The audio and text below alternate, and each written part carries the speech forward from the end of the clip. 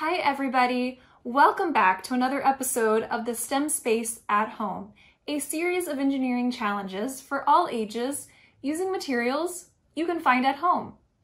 My name is Natasha. I'm an aerospace engineer, and I'm going to be your conductor for today's musical challenge.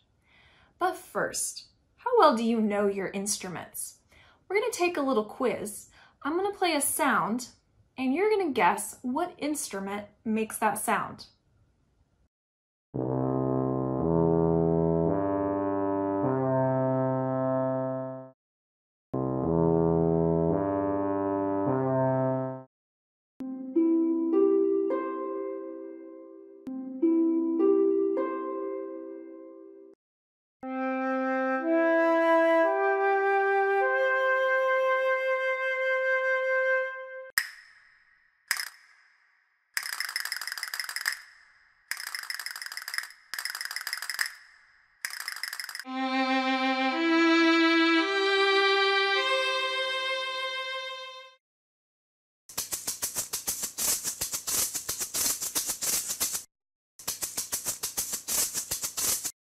You do? Can you think of any other instruments or is there an instrument that you love to play? But how do all these instruments make the music that we love to hear?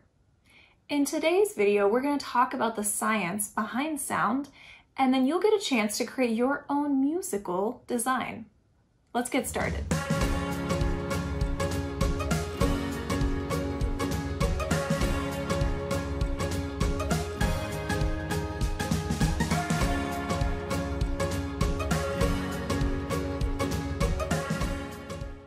Is all around us.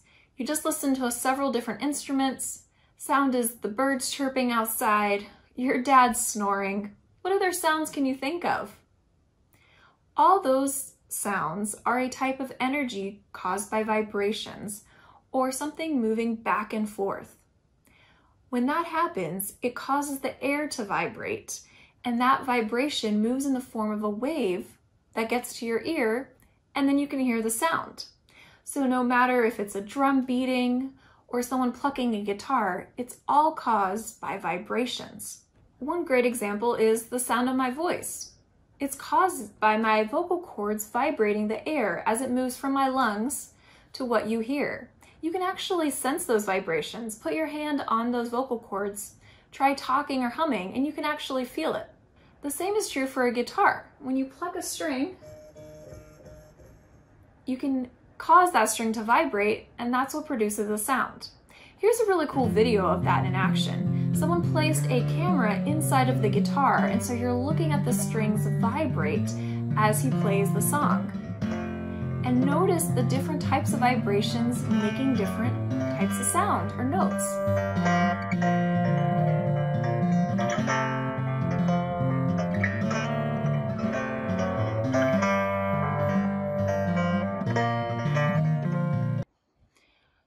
Another trivia question. Can you hear sound in space? In order for sound to travel, it needs something to travel through. We've talked about how vibrations can travel through air, maybe when you pluck a guitar string. But what about underwater? If you've ever tried yelling underwater, you can actually hear it because sound can travel through the water. Or if ever you've pressed your ear against a door, you can hear the sounds on the other side. Sound can actually travel through any gas, liquid, or solid. It just needs something to travel through. What about in space though? There's actually no molecules in outer space for sound to travel. There's a few and they're very far apart, so the vibrations don't propagate or make it through space for us to hear. So whenever you drop something or throw something in space, you're actually not going to hear it.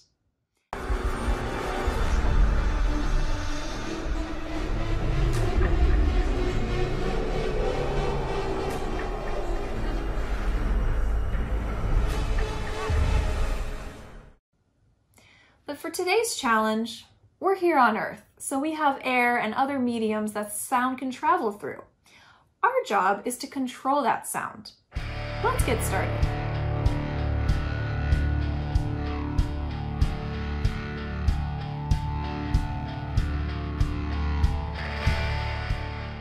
For today's challenge, you're going to be acoustic engineers. That's a type of engineer that focuses on all things sound. They design, they study, they control the vibrations to create the sound that they want. One example is reducing the level of sound. So if you live near a highway, it might be annoying to constantly hear the sound of cars passing by or cars honking. Acoustic engineers design ways to absorb that sound. Maybe they have a large wall that blocks your house from the highway, so it absorbs those sound waves or make them not as loud. Other times, acoustic engineers want to make things louder. Acoustic engineers are involved in designing an auditorium or a concert hall. They want to make sure that everybody in the audience can have the best sound experience. So next time you go to a rock concert, you can thank an acoustic engineer.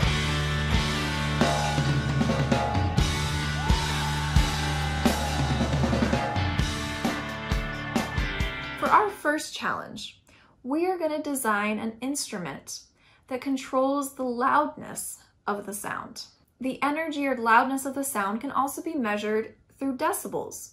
Something with a greater decibel value is louder, and something with a smaller decibel value is quieter. So take a deep breath. The sound of your breath is about 10 decibels. Someone talking to you, that's about 50 decibels. You can actually download an app on your phone that's called a decibel meter, and you can use your phone and measure the level of different sounds around you. Next, we need to brainstorm some solutions. How can we use the materials in our house to create sound? I recommend looking at different instruments to get some inspiration. How does the drum work? Here's an example of a drum. When I hit the drum, I'm creating a sound. What about this one behind me? What's happening is by hitting the drum, I'm causing vibrations on the surface, and that's creating our sound. When I barely tap it, it makes a quieter sound. When I give it more energy, I'm creating a louder sound. What about this tambourine? When I shake the tambourine, I am causing the metal pieces to hit against each other and vibrate. That's what's causing that sound. Or the guitar we looked at earlier. Plucking those strings was causing vibrations on the string. Are you seeing a pattern here? So for this challenge, you need to find materials that create vibrations that can be turned into sound and that by changing the energy we put into the instrument, we can change the amplitude of the wave or increase the volume of the sound.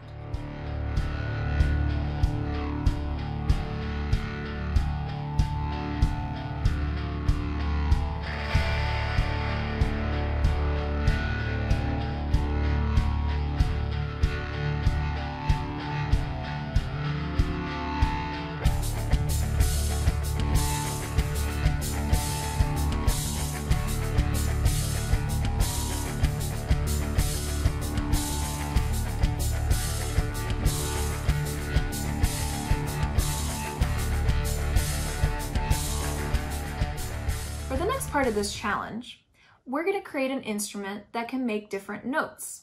We're going to do that by controlling something called frequency. Let's look at some examples. Here is a kid's xylophone. Notice how the sound changes when I hit the different metal strips.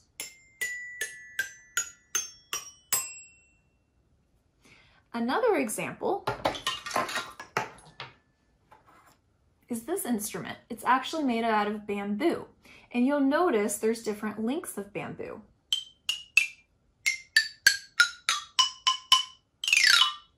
Remember how sounds are vibrations? The frequency of the vibrations, or the number of vibrations per second, determines the pitch that we hear. So a higher frequency means more vibrations per second. That means a higher pitch a lower frequency, which means a lower number of vibrations per second, means a lower pitch.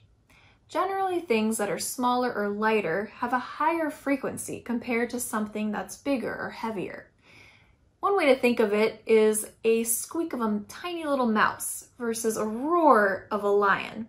That lion has a much lower frequency and it's a larger animal versus the tiny little mouse with a high-pitched squeak. So on an instrument, we can control the pitch by controlling the vibrations. Let's go back to that video of those guitar strings. Notice how the strings have different widths. Thicker strings have a lower pitch. Tightening the string will increase the pitch. You can also increase it by shortening the length of the string. So this lets you play different pitches with a few strings. So again, Controlling the pitch is about the tightness of the string and the thickness of the string and the length of the string. You can do the same thing with a rubber band. Try stretching the rubber band between two fingers and plucking, just like a guitar string. You can actually hear a sound from the vibrations. So as you brainstorm ideas for this part of the challenge, once again look at different instruments for inspiration. The guitar can be replicated with rubber bands by changing the thickness or the stretchy tension of the rubber band. Maybe you're inspired by the xylophone that uses different lengths of metal to create different sounds. You could also look into wind instruments. This is a recorder. Whenever I change the distance that the air has to travel through, it changes the pitch of the note.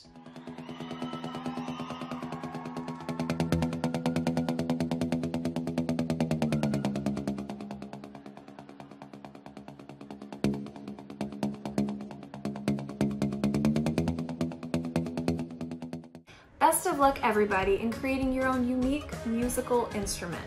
I hope you'll share your designs using the hashtag STEMSpace at home. Good luck everybody and we'll see you next time.